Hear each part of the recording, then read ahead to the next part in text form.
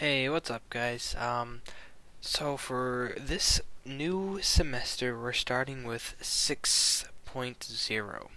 Now, this quote-unquote chapter 6 is not in um, Big Ideas. It's not part of the book. So, um, we won't be using any sort of Big Ideas homework or any sort of anything from the book for this section. This is all just going to be notes from the class and, and homework sheets that I hand out.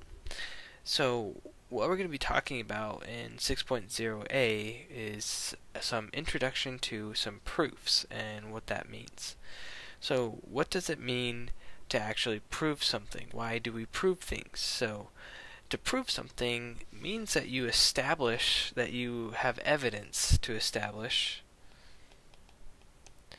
So you have evidence to establish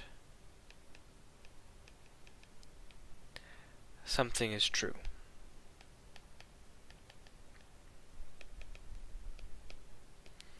Okay.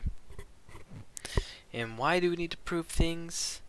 Um, well, a lot of the times just in math, uh, specifically this unit we're talking about geometry, so we need to prove things to show ideas in geometry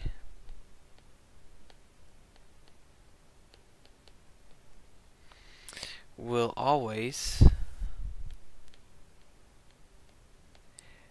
be true in any situation. Okay? Um, and honestly, it's not just geometry, but in general, in math, there's a lot of things, a lot of the properties that we use, a lot of the theorems that we cover um, are proven. Okay, so we use properties because they've been proven to, in a general sense, to apply to any situation. So proving things is actually really essential to math. Um, now let's define what a syllogism is. So syllogisms are statements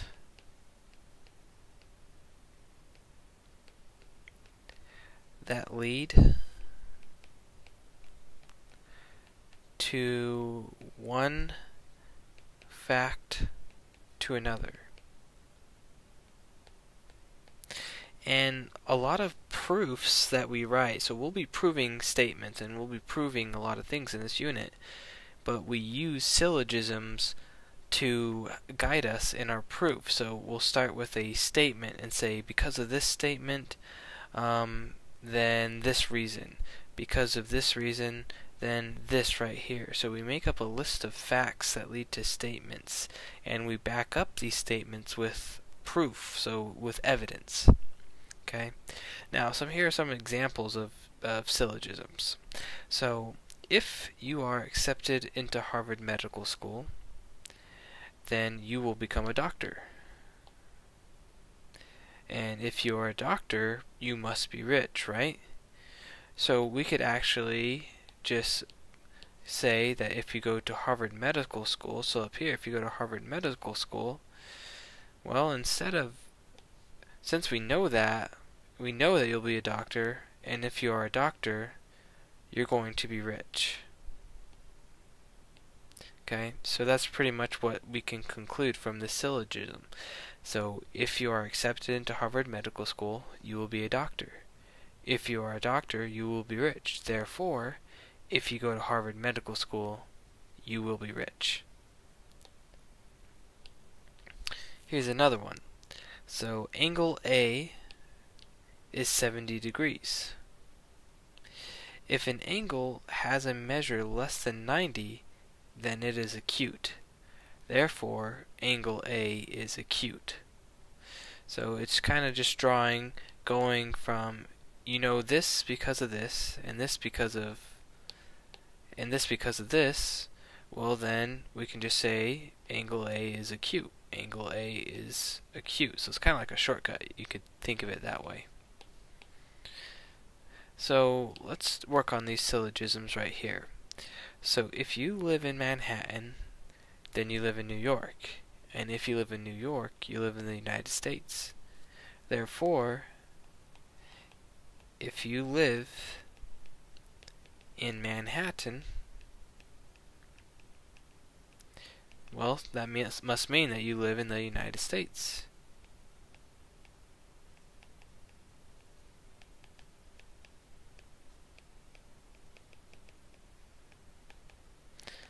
Okay.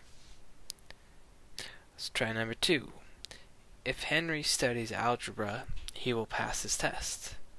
If Henry passes his test, he will get good grades.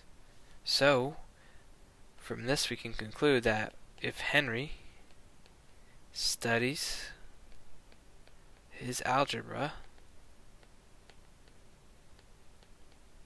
he will get good grades.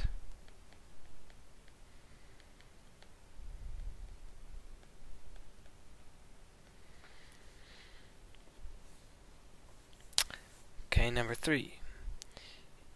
If I drive over glass, then I will get a flat tire.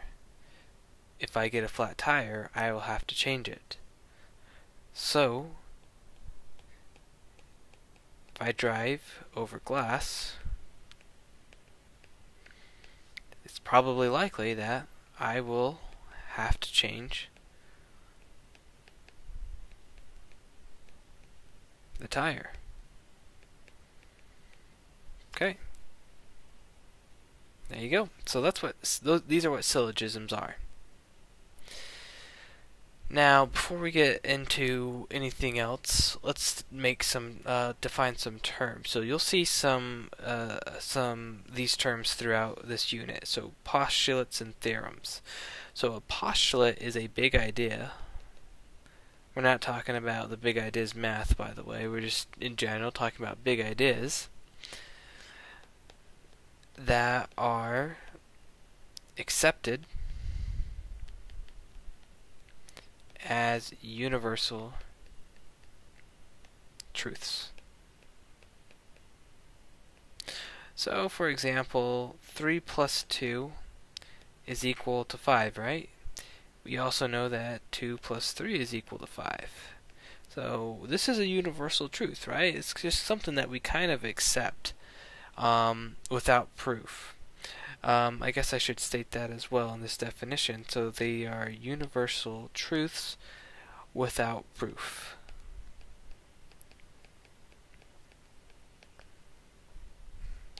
Okay, without proof. So it's just like they're true, but there's no really uh, set proof to say that these ideas are true. We just know that they are. That's universally accepted. Now, theorem, on the other hand, these are ideas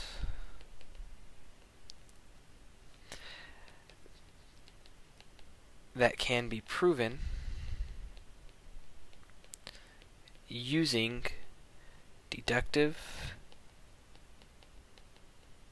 logic. So basically, like through syllogisms. Whenever we use syllogisms, we make a deduction. We use proof. So, if you live in Manhattan, you live in the United States. Now, we prove that because if you live in Manhattan, you live in New York. And if you live in New York, you live in the United States. So, there is an idea that we proved using deductive logic through a syllogism. Okay, now to help us organize our proofs, we are going to follow what we call a two column proof format. So to do this, first thing to do is to write write the information given and what you are trying to prove.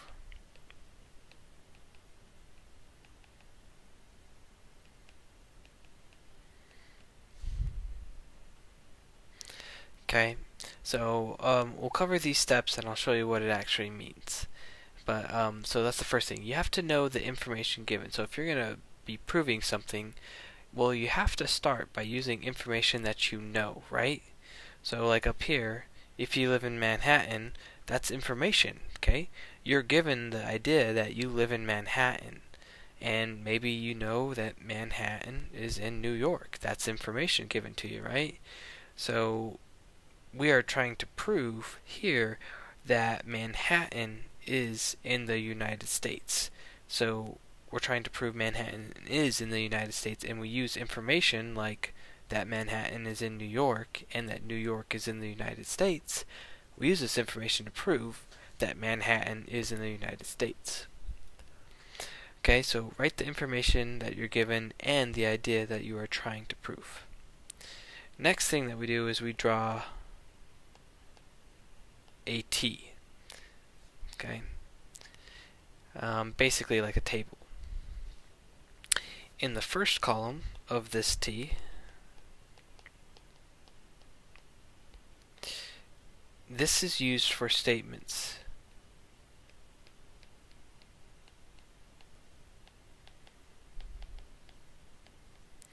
So things that must be true. Things that must be true. And the second column are reasons is used for the reasons which is basically saying why you know it's true.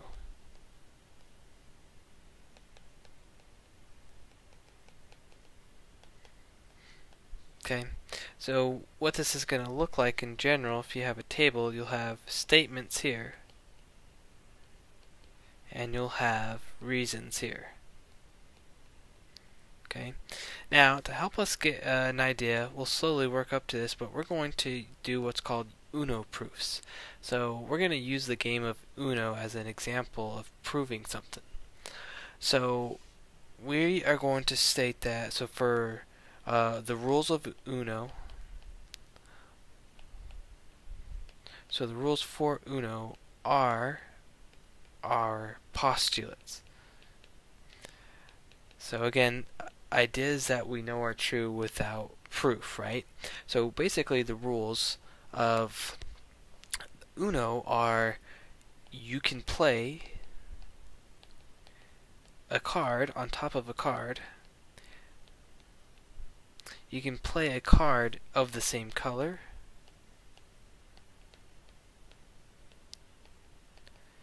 You can play a card of the same number and you can play a wild card to change the color at any time.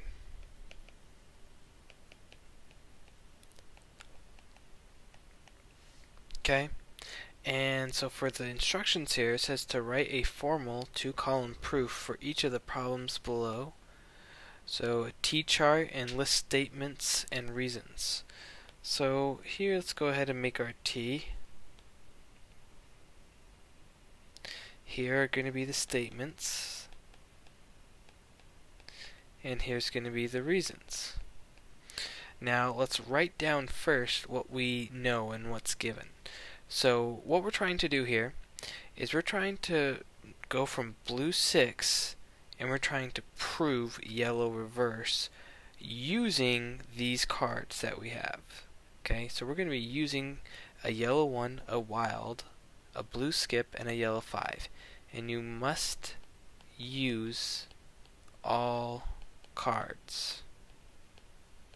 So all of these cards we have to use to prove blue 6, to yellow reverse. So let's start with blue 6.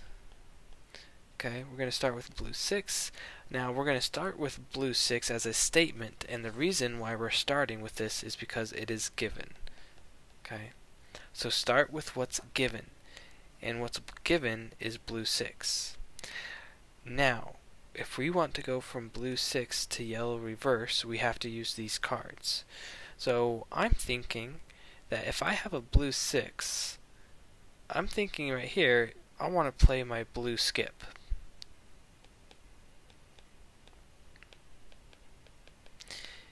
Now, if I use my blue skip, I can use it. What's the reason why I can use it?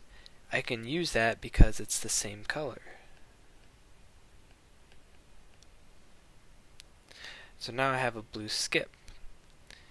Okay, now I can't use my yellow 1 card because I don't have the same number because I'm at blue skip. And I can't use a yellow 5 because again I don't have the same number or color. So I'm going to choose to use my wild card right now. And a wild card can change the color. So I'm using this. My reason I can play this is to change color and I'm going to change it to yellow.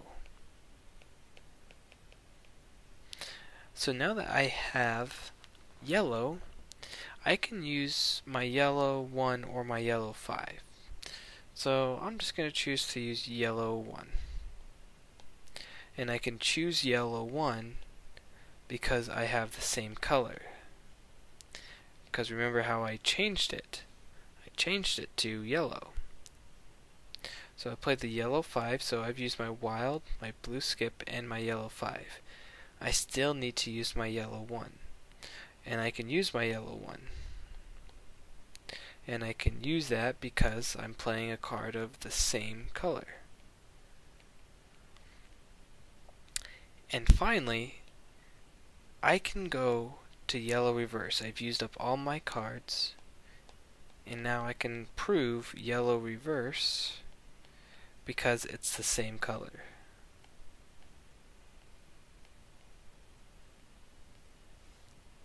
And there we go. We just proved yellow reverse.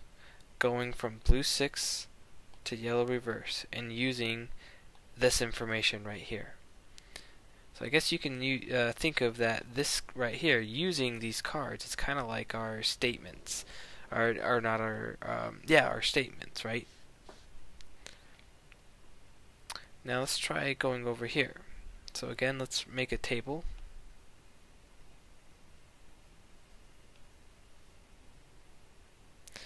And here we're going to write our statements. Over here is the reason. Always start with what's given. And what's given is blue 5. That's the first statement. Blue 5 is given. And the reason why I can use that is because it's given. Now I'm trying to prove green 6 using these two cards. So how can I go from blue 5 to green 6 using these two cards? I can't use green 1 because I that's not the same number or color, but I can use blue 1 because it's the same color.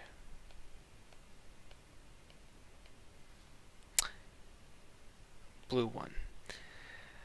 Now, my only option is to use green one, and I can use green one because it's the same number. So I've used up all my cards. Now, can I prove green 6? And I can. I can use a green 6 card because I have the same color. Okay, so we proved green 6 from blue 5 to green 6 using that information. Let's try one more. So again, make your T, draw your T. Here's going to be my statements. And the reason. what is given? Well, the first information I have is blue 7 and I can use that. My reason for using that is because it's given.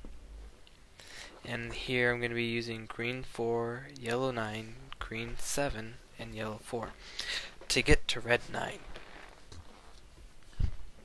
So I don't have any blue cards, but I do have a card with green 7 and this is 7 so let's play that card so green 7 and I can play that because of the same number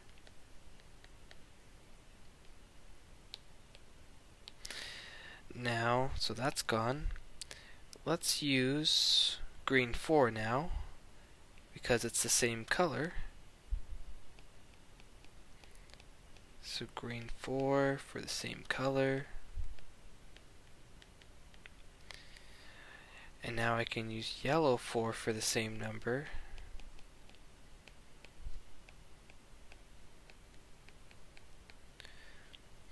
And now I can use yellow 9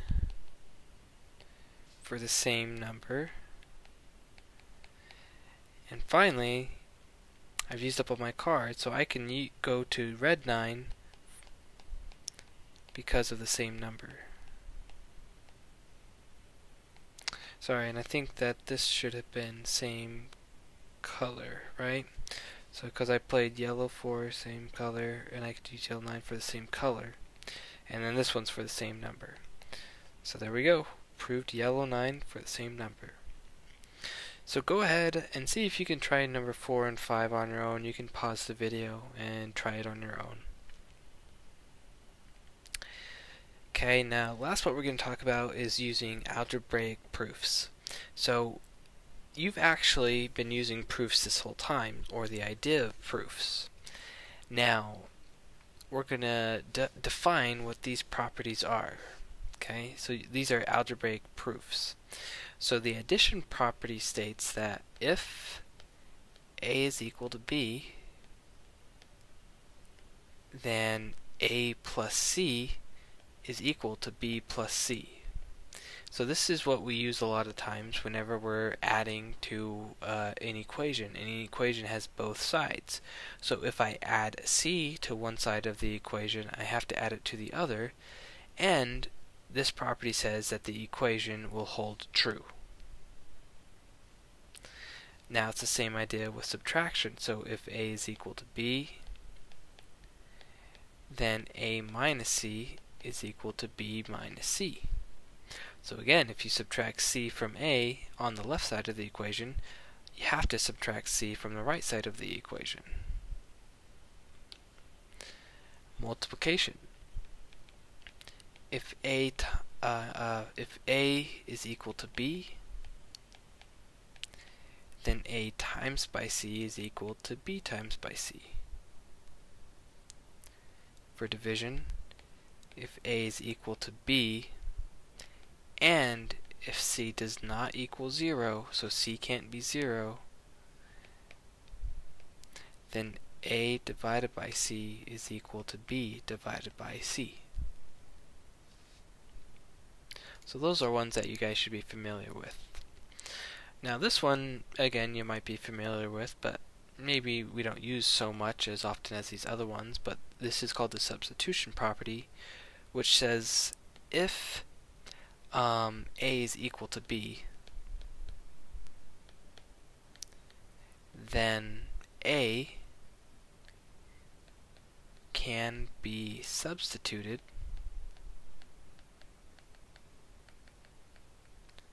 for B in any situation. So it's just a method of substitution. And so we call that the substitution property. There's the reflexive property, which says for any real number, A is equal to A. So anything is equal to itself. Kind of goes without saying a little bit. It might think that it goes without saying, but there's a property that says that for any real number, any number is equal to itself. The symmetric property says if A is equal to B, then B is equal to A. Transitive property, if A is equal to B, and if B is equal to C, well then A is equal to C. So again, A is equal to B, B is equal to C, therefore A and C are also equal to each other. And the distributive property says A parenthesis B plus C is equivalent to AB plus AC. So that's the distribution method, distribution property. So what we're going to do is we're going to solve algebraic expressions and equations using the properties. So you've solved algebraic expressions and equations. Um, you know how to do this, except we're just going to write it using our two column proofs that we know how to use now. So let's write out our two column proofs, where here you're going to have your statements, and then your reasons. Okay? So remember that you start with what's given. What's given is this. So 2x plus 5 is equal to 20 minus 3x. Now we start there because it's what's given. That's our reason. Now let's solve this for x because we want to prove that x is equal to 3. But remember that the reasons have to be these properties. So I know that I can subtract 5 subtract 5 from here. So then I'm left with 2x is equal to 15 minus 3x. Now, I know I can do that.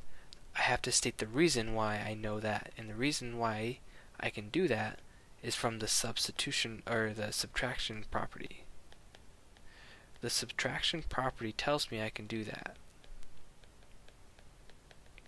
Okay?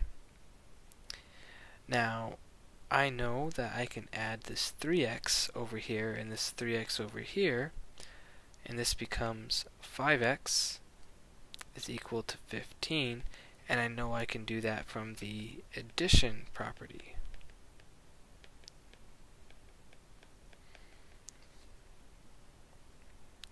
And then I could divide by 3, and I will get x is equal to 3, and I can do that by the division property. There you go. We just proved x is equal to 3. That's what we wanted to prove. And we made a statement. We made a list of arguments. So you just proved with evidence that x is equal to 3 for this equation. Okay. Now let's go down and do another problem here. So we have given negative 4 times by x minus 8 equals negative 16. So what do we start with? Negative 4 times by x minus 8 is equal to negative 16. And I start here because it's what's given. Now, the thing is, I can do two different things here. I can use the distributive property, right? Or if I wanted to, I could divide both sides by negative 4, which is the division property. I'm going to use the distributive property. Um, also, you're trying to prove here that x is equal to, I think, 12. Might be negative 12. Um, yeah, no, x is equal to 12. That's what we're trying to prove here. So I'm going to distribute this. So I have negative 4x plus 32, and that's equal to negative 16. And I can do that from the distri uh, distribution property. So by distribution. Now I can subtract 32 from both sides, so I get negative 4x is equal to negative 48, and this is the subtraction property. I can divide by negative 4, which would mean x would be equal to positive 12, and I did that through the division property. And there you go. x is equal to 12. So try number 2 on your own, and number 4. For number 3, I'll give you one here. So negative 4 times 11x plus 2 is equal to 80 and you want to prove that x is equal to negative 2. And don't worry about this one, just leave blank, but these ones will be extra practice for you guys. You guys can do these and get a feel for your own on how you can do these problems. Okay, so that should do it for this uh, unit. Um, make sure that you check out the homework assignment as well. Thanks guys.